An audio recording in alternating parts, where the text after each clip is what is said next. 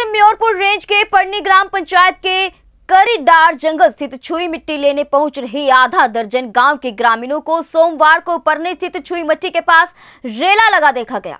छुई मिट्टी पहले लेने की मारा मारी ग्रामीणों में ऐसी है कि अपनी जान की परवाह किए बगैर ज़मीन के नीचे 10 से 15 फीट तक खुदाई कर मिट्टी निकालते हैं। आपको बता दें कि रेंज क्षेत्र में रंटोला जंगल में करीब 20 दिन पहले छुई मिट्टी लेने गया किरविल निवासी। एक मासूम की मिट्टी का टीला खिसकने से दर्दनाक मौत हो गई थी।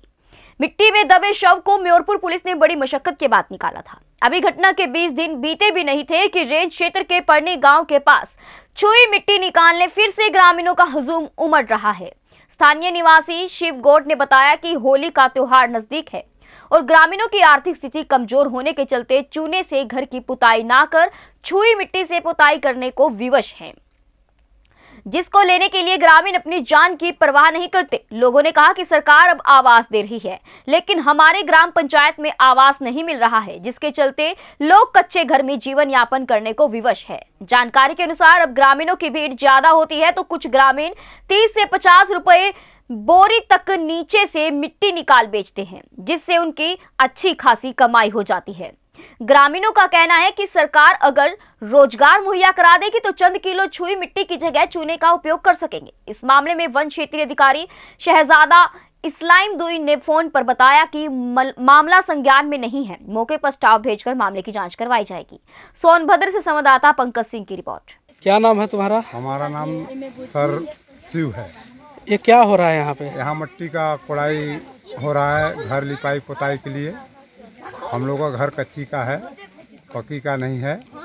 यही मिट्टी से पोताई करते हैं यही मिट्टी का दीवार है। हम लोग को कोई योजना आवास नहीं मिला है और यही सब हम लोग अपना उपाय लिखने पोतने का होली का त्यौहार में।